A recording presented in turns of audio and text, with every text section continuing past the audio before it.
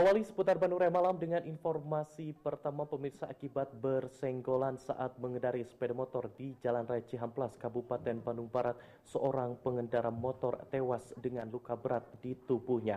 Peristiwa laka lantas tersebut sontak mengundang perhatian warga yang langsung mengamankan korban ke tepi jalan raya. Seorang pengendara motor tewas di tempat kejadian perkara selasa petang dengan sejumlah luka di tubuhnya.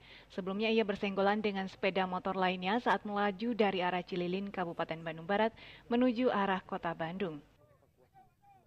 Peristiwa tersebut bermula saat korban membawa sepeda motor bernomor polisi F4476WG dari arah Cililin menuju Bandung.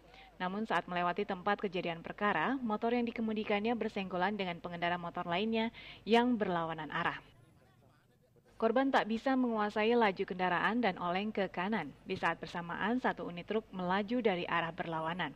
Korban menghantam bagian perisai truk hingga tersungkur dengan sejumlah luka berat di tubuhnya dan tewas di tempat kejadian perkara. Warga di sekitar lokasi langsung mengamankan korban ke tepi jalan. Petugas kepolisian yang datang ke lokasi langsung memeriksa korban, namun petugas tidak menemukan kartu identitas korban. Petugas pun langsung membawa korban ke rumah sakit terdekat dibantu warga sekitar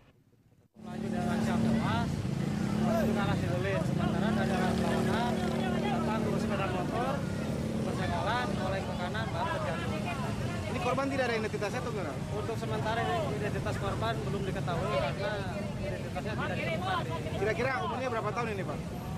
umur kira-kira antara 27 sampai 30 tahun Polisian juga mengamankan barang bukti motor yang digunakan korban.